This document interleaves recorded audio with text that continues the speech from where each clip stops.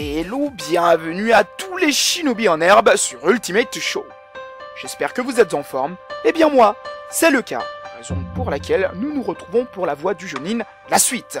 Et oui, alors, pour ceux qui découvrent cette vidéo, eh bien, en quoi cela consiste? Eh bien, nous sommes en quête de ce fameux grade de Jonin, tout simplement en affrontant des adversaires aléatoirement en ligne jusqu'à ce fameux grade. Et donc, je vous invite à bien vous installer pour pouvoir assister à ces deux combats shinobi habituels. Et donc c'est parti donc pour ce choix de Gaara et de Naruto en type technique secrète. Pour former l'équipe, ce furent seuls aidants que nous allons ensuite découvrir l'adversaire du jour. Et oui, son choix c'est Sakura. Il s'agit donc de Sophie qui nous joue donc en soutien. Naruto KCM ainsi que Sasuke. Et donc, place à l'action, l'équipe 7. Je sais qu'il y a des fans parmi vous de cette équipe. Donc, Sento Kaishi. Et oui, la phase habituelle, de, on va dire, d'observation et le rush se fait directement du côté de Gara. Le mini Dama dans le vent en soutien. Et là, le Anton qui fait mouche.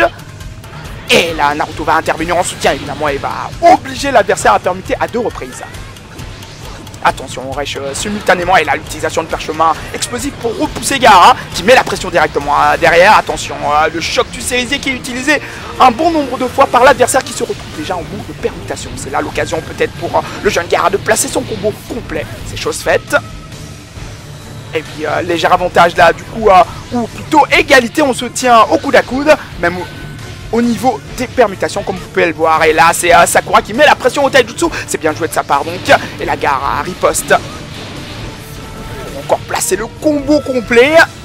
Et bien, toujours en manque de permutation euh, des deux côtés. Euh, c'est Sakura là peut-être qui va pouvoir reprendre l'avantage. Et non, une fois de plus, elle a utilisé un peu trop tôt sa permutation. On s'observe encore. Et là, la TS préventive qui ne passera pas bien évidemment.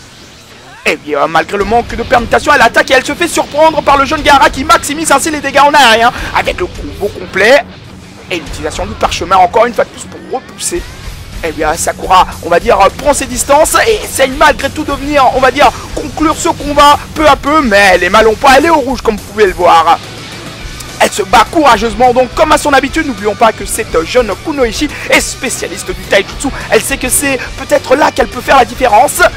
Attention, plus qu'une permutation de part et d'autre. Et là, la première chope va passer avec l'intervention de Naruto en, couverture, pardon.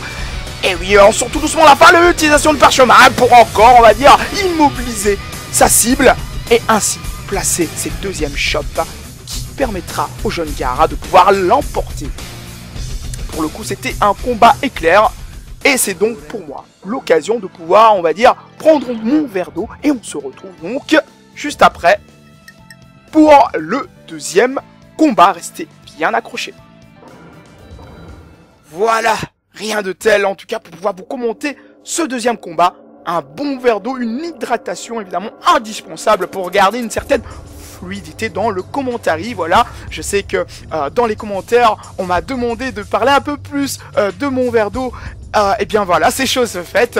Donc l'hydratation façon Sugetsu, c'est le secret pour essayer de garder une certaine fluidité. Donc revenons à ce deuxième combat, ce combat que vous attendez tous peut-être pour savoir et déterminer surtout qui des deux cages est le plus puissant en termes de puissance brute, bien entendu. Et donc place à ce fameux duel Shinobi. Je vous dis donc Sento Kaishi. Sur votre gauche, vous avez donc Tsunade, l'une des Sanin légendaires, je le rappelle. Et sur votre droite, vous avez Ei, le quatrième Raikage. C'est parti pour ce duel afin de déterminer lequel des Cage sera le plus puissant et donc directement Nine est mal en point puisqu'il n'a plus qu'une seule permutation. Attention, c'est parti pour le Lariato sous le rush. En tout cas, de Tsunade qui se fait surprendre. Bien joué de la part de l'adversaire qui réduit la distance et rentre au Taijutsu. Et Tsunade riposte là avec un combo au sol. Et cela va se poursuivre en aérien. Attention, l'intervention du Yoton là alors que euh, se retrouve au sol. Il perd donc énormément de points de vie. Et oui, l'intervention de Si va permettre à son Cage de pouvoir récupérer euh, son chakra. Tsunade en fait de même. Elle réduit la distance ici pour pouvoir terminer ce match, on va dire au taijutsu. Et oui, euh, et là, évidemment, l'adversaire riposte avec son mode instant. Et euh, non, Tsunade ne se laisse pas surprendre. Et là, le Yoton de Mei qui va faire son travail de soutien et arracher encore une fois de plus énormément de vie à l'adversaire. Si intervient et permet à Ei de revêtir cette fois-ci définitivement cette armure de Raiton afin d'augmenter sa puissance et ses réflexes. C'est parti donc pour le taijutsu en arrière, l'avantage de Tsunade, le Yoton qui est manqué cette fois-ci. On réduit la distance. Et là, le l'Ariato qui est manqué.